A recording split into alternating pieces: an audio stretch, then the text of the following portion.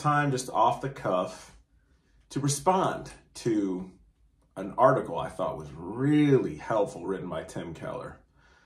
Um, he wrote this article where he outlined some of the divisions actually that are happening in the church right now, and they're pretty obvious. And I think anybody who is engaging within the church genuinely is feeling these divisions.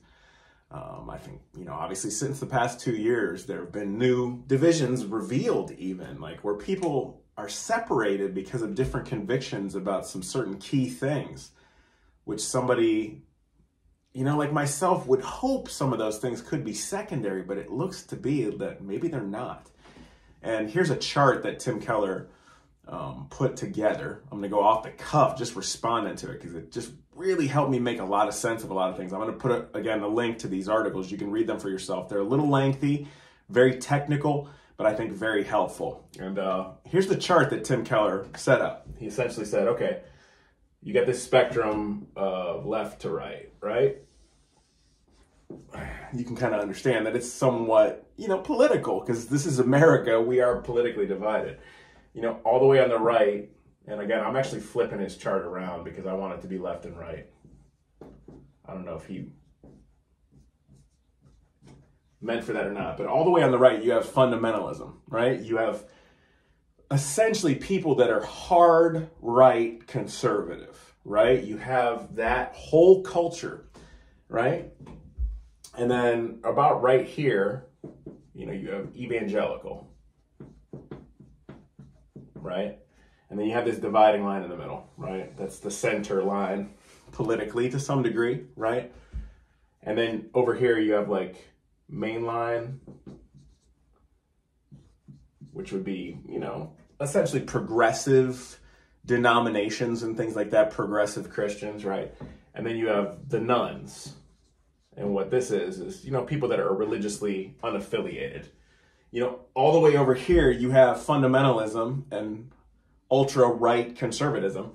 All the way over here, you have complete secularism, right? And Tim Keller even makes the argument, and you got to look at his article, it's really helpful, where he even says, like, people on the extreme sides of both sides are, are almost similar in that they're completely separatist, they are moralists, like, they think that their way is the only way and the other side's totally wrong, and things like that and he gets into that, but we're not going to get into that today. We're just going to talk about this divide um, a lot, and we're going to talk about this a little bit too, because again, I think this is pretty pertinent to our time. Like, have you noticed somehow recently that evangelicalism and fundamentalism have kind of become intertwined to some degree? I've seen this trend happen. Now, in the 2000s and the 2010s, I almost felt like you know, evangel- evangelicalism and fundamentalism were separate things. If you look at fundamentalism and evangelicalism historically, you see that evangelicals broke off of fundamentalism like 30s, 40s, 50s era, mostly in the 50s prominently, because they wanted to actually socially engage the culture with the gospel. They wanted to reach people who didn't know Jesus with the gospel, and they felt that fundamentalists were too separatist, too racist, too uh, exclusive, like nobody's allowed in, and completely like inclusive of each other, and refused to engage the world and just kind of wanted to condemn the world. And there was this separation. But what happened over the past couple of years, and I think in particular over the past six years, you could see it a lot, and maybe it was rising until then, is there's sort of like a tie between evangelicalism and fundamentalism again.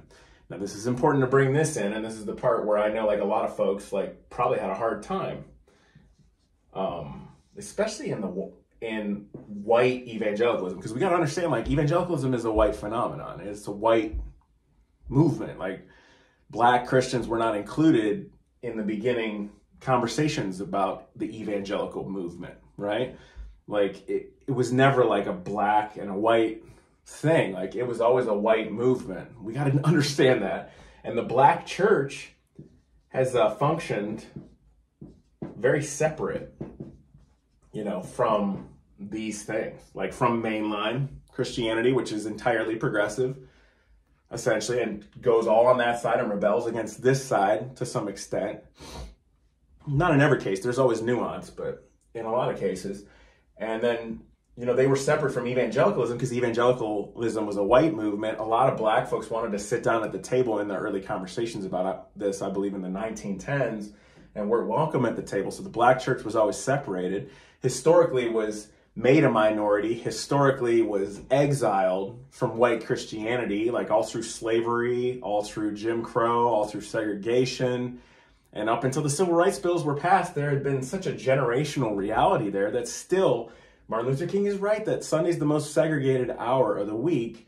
The black church and the white church are separated. There are lots of multi ethnic efforts, like in the 90s and the 2000s. There have been a lot of efforts made to try to bring uh, that together. But again, like because of the uh, hard stances sometimes over here, you know, and like the inability to have nuance, the separation is continued. Now, one thing I have to say is that I have found myself to really identify theologically and socially with the black church over these past few years. And I think I always did. I just think like now I realize that I really agree. Because, like, when I talk to my black Christian friends about faith, right? Like, black pastors that I know, black nonprofit leaders, people of color that, you know, are of faith, you know, we'll talk about the basic Nicene Creed stuff. Like, do you believe that, like, Jesus is the only way? Like, there's no other God but Jesus? There's, you know, no other way but Jesus? Oh, yeah, totally agree. Do we believe, like, in the Trinity? Yeah, like believe in Father, Son, and Holy Spirit, right? Separate but equal? Yeah. Like not totally equal, not totally separate? Yeah. Like all these basic Nicene Creed doctrinal things. Like you believe in virgin birth? Yes. I mean, do you believe in, you know, sola scriptura or like this? And the black church wouldn't call it that, but do you believe in the authority of scripture? Yeah. I mean, do you believe like that God's word is the complete authority? Of course. Do you believe in the humanity and deity of Christ? Yes. We believe he was fully God and fully man. We don't believe he was completely man. Don't believe he was completely God, right? All these basic things. And the black church, even like on the complementarian and the egalitarian issue, are they can be somewhat divided about that just as much as evangelicalism is. So we have all these things in common. And again, fundamentalism would agree with all these things as well, right? But then they add like additional political and cultural things, right? Now, here's where it gets strange because, like, the black church historically has always dipped a little bit socially into this realm where the mainline church really emphasizes things and completely pushes against evangelicalism and fundamentalism to some degree, like in its most pure, extreme, like forms, right? And this is where it comes down to issues like, and when I talk to my black Christian friends about them, like, on the same page, man, understood. When I talk to some of my evangelical friends, they're like, uh, I, I won't go there, right? And then, man, when I talk to people that have a fundamentalist bent, they're like, man, how dare you even say that or talk about that? And again, evangelicalism and fundamentalism have been a little bit more tied together. Like Tim Keller actually proposes the idea that maybe we ought to revamp the term fundamentalism. Maybe we ought to bring that back to identify this division again because there's been too much of a blurry line between these two lately, right? And what I'm talking about when I'm talking about dipping over the center into the liberal realm, oh, how dare we? we got to talk about this. We got to talk about it to really discover things. It's issues like, you know, the LGBTQ issue. Now, when I talk to my black Christian friends about the LGBTQ community, we agree. It's like we want to love the LGBTQ community really well. The church has failed at loving the LGBTQ community completely. Like we we haven't built that bridge, we haven't built friendships, we haven't cared for people well. We haven't like invited people over to dinner enough and like built bridges and we just need to love people because like God's grace is so good and Jesus's ministry was inclusive of everybody, but he did have like a holiness too. And like still believe in that, you know, historic sola scriptura, like orthodox belief in scripture. Yes, we hold to that holiness, that sexual purity ethic, but there needs to be love. And again, when you go here, people here and here just get mad at you they're, they're like, don't talk about it. Don't talk about it. Don't mention it. Don't say it. And I think it's more for political reasons than biblical reasons because I think it's better to talk about these things biblically than to ignore them. Don't you? And same thing, like when it comes to abortion, okay? Like this goes over the line into here. So again, when I talk to my black Christian friends, my friends of color in the church, they're like, well, yeah, I mean, like I'm pro life. Like when it comes to like protecting like births of babies, like in every case, I would want babies to be born. I would never want a pregnancy to be terminated ever, like under any circumstance. But I also see the social issues that lead to women having abortions, like financial issues, you know, women that can't afford to have a kid or like they got raped or terrible things happen. And like in so, so many circumstances, like in particularly the city community, the community of the city, like people like feel forced into this in order to like cope or in order to survive and we need to give grace to the women and we need to change the economic structures that prevent women from having good choices to make about that and feeling pressured or forced to have to make a drastic decision that might traumatize them. So it's a more robust conversation. But again,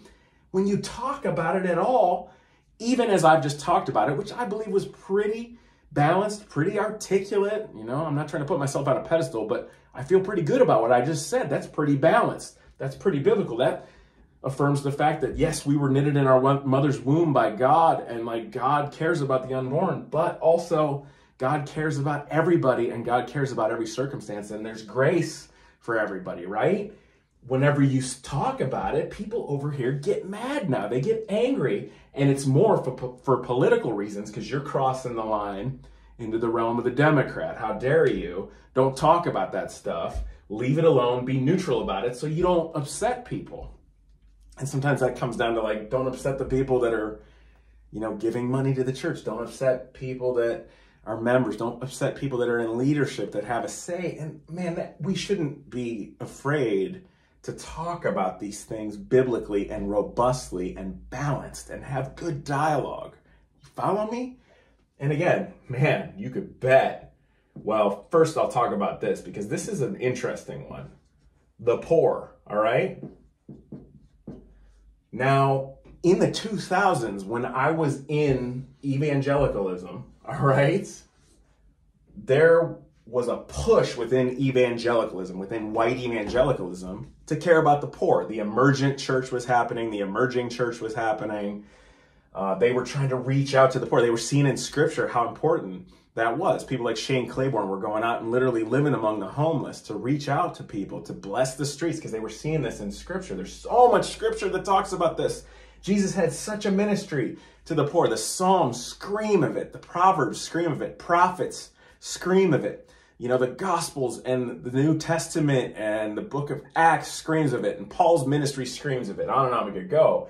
And again, like I remember like advocating for the poor during the 2000s, and so many people in evangelicalism were mad at me because they felt like it was crossing the line into the realm of the Democrat. You follow me?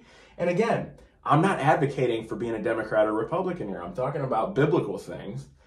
But you talk about the poor, you talk about caring for the poor, you talk about advocating for them, you point out where scripture talks about it, you point out where Jesus says, look, anything you've done for the least of these, my brethren, you've done it to me. Like I was sick, I was hungry, I was in prison, you helped me, you fed me, you clothed me, right? It's obvious that scripture cares about it, God cares about it, but there was a pushback. And now I think like the pushback has been so strong from here, pointing out biblically where we are mandated by scripture and mandated by God as Jesus followers to care for the poor that people can't really argue about it anymore. Like it's obvious, okay? And that was happening literally like 15 years ago. I would have conversations with people about this and they'd be like, well, my tax money takes care of that. I'm not really called to do that. And these were people that were like leaders in the church. I was like, what are you talking about? Look at the Bible. Look what scripture says, right? And again, my black Christian friends, man, my friends of color within the church, they, this was like a no brainer always. Because again, like, because of slavery and because of Jim Crow and segregation, like black folks were historically marginalized and pushed into poor communities because of redlining and all that. So the black church has always cared for the poor, and there hasn't been a dispute about, oh, well, those liberal Christians care for the poor, and us conservative Christians care about eternity, right? Like it was never a dispute. And now I think evangelicals can't deny that this is important. I think even most fundamentalists can't deny that this is important. But now here's where we come to the hot button. You ready for this? You knew it was coming. Race. The race issue. It's like the current dividing thing in the church. Again, you got to know fundamentalists, historically racist, Bob Jones, uh, Bob Jones College, you know, like Jerry Falwell Sr. was historically racist. We got to like know about this stuff. This this is true, okay? There were segregationists that were in the fundamentalist movement. Evangelicals tried to separate themselves from that, but would never go over the line totally to advocate too much, even when Billy Graham did at times. Like, he'd be like, oh, I can't go too far. He would for a little bit, but he always felt like Martin Luther King went too far with the race issue, right? And again, obviously, when it comes down to it, the black church, yes. Like when it comes to issues of race and justice, Look at the book of Exodus. Look at Moses leading the Israelites out of Egypt, out of slavery, right? And God literally destroying the Egyptians for enslaving the Egyptians. Does God care about justice? Yeah. I mean, look at the prophets. Look at Amos, you know, look at Ezekiel, look at Isaiah, look at Jeremiah, who advocated for the underdog, for the minority, for the marginalized. Does God care about the underdog, yes. Does God care about those who are being mistreated? Yes. Does God care to make equality possible? Of course. Jesus' ministry, he literally uses Samaritans as examples of you know what it means to be faithful in loving your neighbor when he's confronting the Pharisees who were racist against Samaritans or nationist against Samaritans. Same type of thing, but it was like they're from this country of apostate people. We're like the true chosen people. This issue of race. And then again, we look into 2020 and all this stuff. And well, we look through all history, but 2020, George Floyd is brutally murdered for a minute. Evangelicals are like willing to come over here for a second and have these conversations. And then all of a sudden, uh, Donald Trump makes a mandate in September of 2020, leading up to the election, trying to ban all critical race theory teaching, essentially like banning diversity training. And all of a sudden, all the evangelicals are like, no, we're not going to talk about race anymore. We got to stay over this line. This line is so important. We, we can't cross this line. And I'm not even arguing about critical race theory here. I'm not arguing about wokeness. I'm not arguing about Marxism or whatever. A lot of those things have become straw men that have been made up, like to label people that are trying to have this conversation biblically, that are trying to lovingly have it, that have nothing to do with any of that stuff, that have nothing to do with secular theory, that have nothing to do with like radical politics that are way over here, right? I mean, we're just trying to have the conversation about race biblically. And of course, my black and people of color Christian brothers and sisters, like, willingly, openly have this conversation and this dialogue. And we're trying to figure it out together. And then I talk about it, and both people on this side and people on this side get mad about it. Well, you have some of these people that are kind of, you know, mad about it and lean this way. And then some that are like, I'm willing to go here, but I'm like afraid because like I'm going to be marginalized by my friends. And this is why I think Tim Keller brings up a good point that maybe we need to revamp this word and say, listen, man, if you're not willing to like talk biblically about these controversial issues, okay, that really matter to God, that God has a lot to say about, maybe you're more this and you're less this. If we want to even redeem that term evangelical, which we also could throw it out. Like, does it even matter to God? Like God wants Jesus followers, faithful Jesus followers, right? I mean, just because we're dipping into this realm where progressive theologically, people that are progressive theologically are willing to hang and probably emphasize all this stuff, you know, doesn't mean that we're being unbiblical and we have to deny all this stuff. I've literally heard a list lately where it's like, here's a list of heresies to look out for and it says like you know denial of the trinity denial of jesus as being the only way denial of the virgin birth denial of the authority of scripture you know denial of the humanity and deity of christ and then it also adds woke or crt And I'm like, oh my gosh, that's an oversimplification. It's intellectually lazy, you know? Because not everybody who's trying to biblically have a conversation about race is pushing Marxism or is pushing secular theory. There might be some overlap there with the scriptures that we need to see the nuance of, right? But we need to talk about this stuff and we need to actually come up with biblical answers. And I think it's the same as the conversation about the poor in the 2000s, where so many people over here are like, we're not having this conversation because it crosses the line politically that we're not okay with. Well, who cares? You think God cares about your politics more than he cares about your heart? You think God cares about you? Like your faith or your politics? You think God cares more about where you land politically, like whether you're red enough or whether you're blue enough? Or do you think God cares about you being faithful to his word and scripture and loving your neighbor as yourself? Which one is it? It's a good conversation to have. Thank you, Tim Keller, for making this article. Hopefully, it will continue the dialogue and continue to help us to redefine our boundaries in the future, y'all. Peace.